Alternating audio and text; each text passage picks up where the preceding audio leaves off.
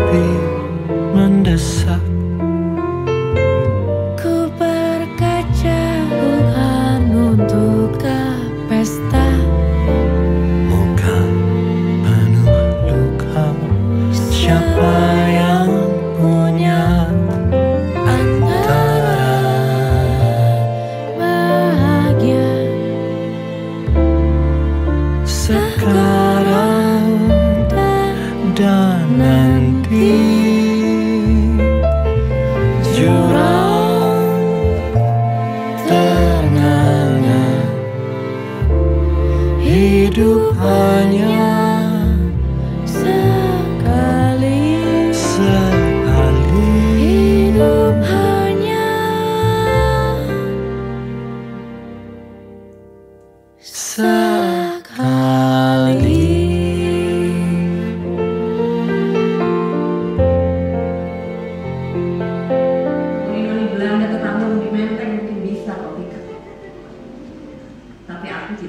dengan laga gayamu.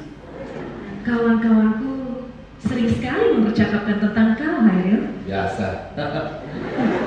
Kau sebenarnya mudah ditebak. Selalu ingin jadi pusat perhatian, juga di hadapan perempuan.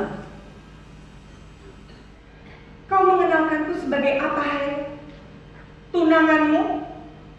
Istrimu? Aku tak pernah mengenalkanmu kepada kawanku, tapi aku mengajakmu ke rumah, bertemu dengan orang tuaku. Kita bagai orang yang baru berkenalan, sungguh pun samudra jiwa sudah selam berselam. Karena ketan Srikaya ini enak sekali. Ya. Aku bacakan kau puisi.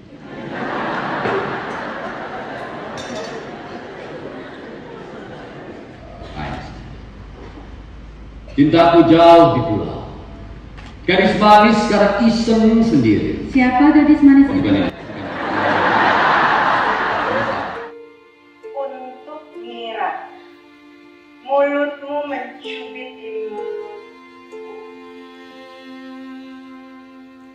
menulis sajak untukku.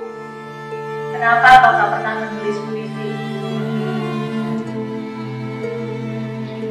Seperti kau menulis puisi untuk Ida, Sri, atau Mira.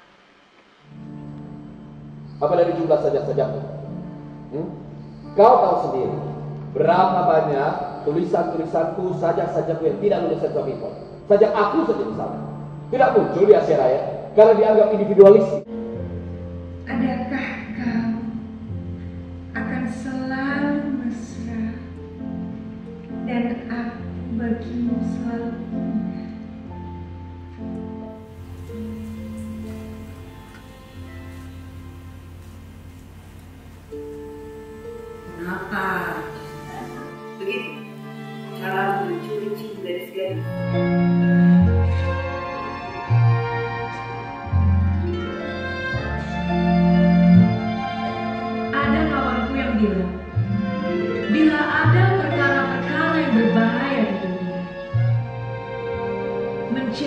penyair adalah salah satunya. Kau selalu bilang kau binatang jalan. Kau merasa terbuang. Tapi sekarang aku yang merasa terbuang. Memburu perempuan. Tapi tak pernah menangkap hatinya. Kau seperti membutuhkan semua luka itu untuk sajak-sajakmu.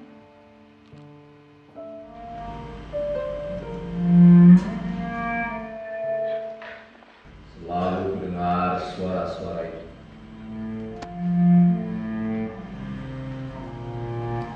Suara-suara malam yang memukul dentur selalu. Menguji tenaga dan hidup. Lancur. Remuk.